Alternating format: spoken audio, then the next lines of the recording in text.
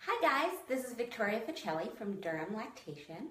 Um, I figured today I would take some time and explain one of my favorite topics, which is how the hormones of lactation works. I'm a big believer that if you're going to breastfeed, that maybe you should know how the tools work. Because if you understand the machinery, that's going to put you one step closer to being able to use it. So I'm going to go ahead and explain this hormone pathway, and then in honor of National Adoption Day, as well as um, the day when we recognize and celebrate our preterm babies, which happen to fall on the same day, uh, I would talk about how this milk transition and how these hormones work in both those cases. So let's get started. So I got really nerdy about this when I was studying for my boards. I'm an internationally board certified lactation consultant here in Durham, North Carolina. Um, and it took me a while to get the hang of understanding this.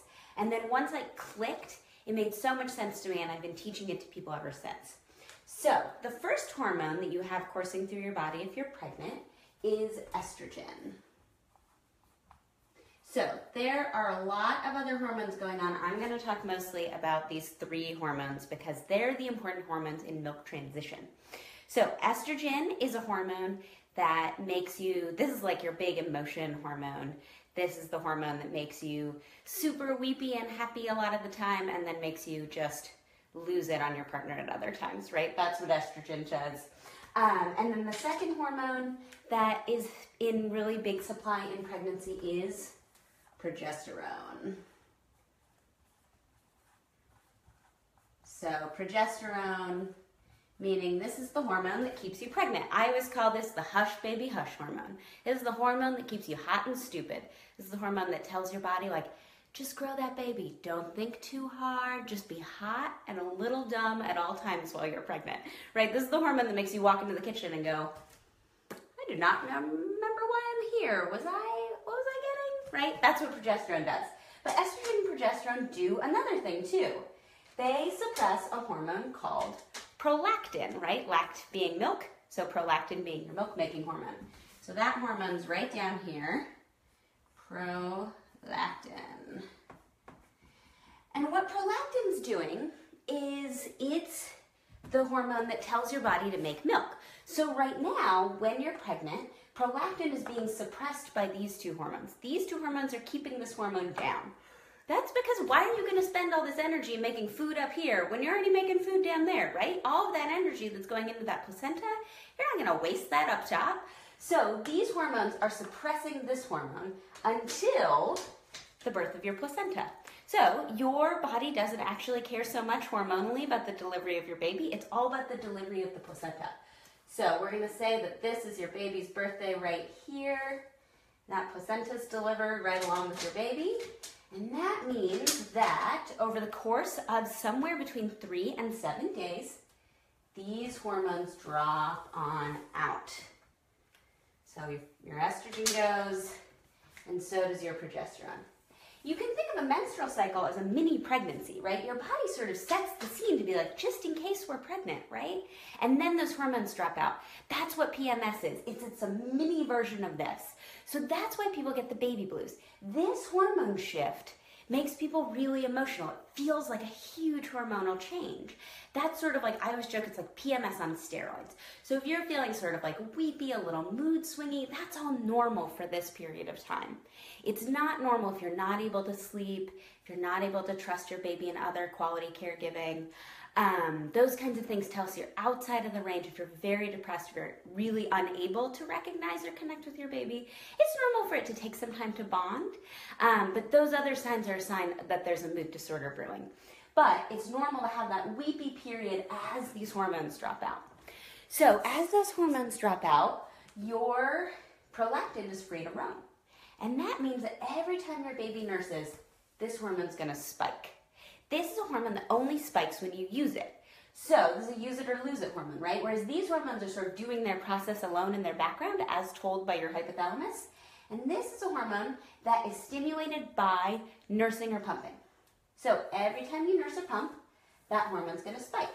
And that's why we want you to nurse that baby 8 to 12 times a day in those first few weeks while they're getting back to birth weight. That's what we're looking to have happen. If for some reason you drop out one of these, maybe your baby needs to be supplemented for a medical reason, That's why you want to pump anytime your baby's supplemented. Because you still want to tell your hypothalamus, you still want to tell your body, wait, wait, I was going to use that milk. I need that. So you're still going to send that signal to your brain. So this is also where our preterm babies come in. So it's natural National Preterm Aware Preterm Birth Awareness Day today. Um, so celebrating all of you families that have been through the NICU, that have worked with preterm babies, such important work. Um, it can be such a challenge to go through that, um, and our hearts are with you if you are going through that right now. The so often our preterm babies, even up to late preterm babies, are babies who don't need to go to NICU, who are maybe 34 to 38 weeks, are still often too sleepy to eat. They often don't wake up for their own feedings. They don't engage those natural hormones that tell them to set the signal, right? This is that early cluster feeding. That's those babies having natural reflexes to tell them, wake up a whole bunch of times in the middle of the night to get this milk to transition, to get this message sent to the brain. So our little preterm babies are either not old enough to eat or they're too sleepy to eat, right? So they're going, if they're not old enough to eat, they're going to be getting all the nutrients that they need via IVs. And if they're just a little sleepy, we're going to be waking them up to eat. Or if they're too sleepy, we're going to be bottle feeding them and pumping. So that means that we're still sending the signal. So if you have a late preterm baby or a preterm baby who goes to NICU, what you'll see is a lot of pumping, right? Our NICU moms are the champions of pumping. And they have freezer fulls of milk, often even before their baby is ready to eat. Because if they know that if they wait for their baby to eat, then this hormone pathway doesn't happen and then their milk isn't there for their babies when their babies are ready to eat. So that's why even if your baby isn't ready to eat, you still pump uh, roughly every three hours or eight to 12 times a day, which can be really grueling, which is why those parents are really tough and have our back and deserve all of our, our love and support.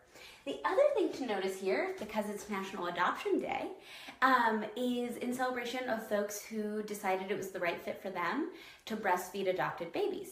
So that is possible. People are like, what? You can make milk without having a pregnancy? And you absolutely can.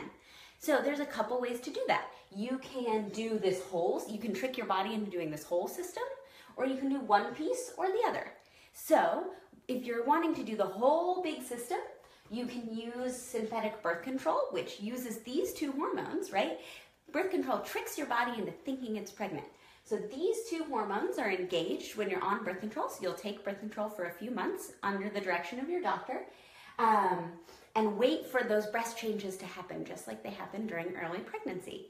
And then once that's process is finished, we stop taking birth control, we drop out that piece, and we start spiking prolactin. We usually, if we have time, we do this a little bit before gotcha day, before your baby comes home, because that's gonna give your body time to do this transition, which takes a little bit longer if you haven't had a pregnancy, either because you're gonna nurse a baby in your family that you didn't carry, um, like in, a, in some kind of a queer family, or if you are going to be welcoming home baby through adoption, right? You're gonna need a little bit more lead up time if you weren't gestating your baby.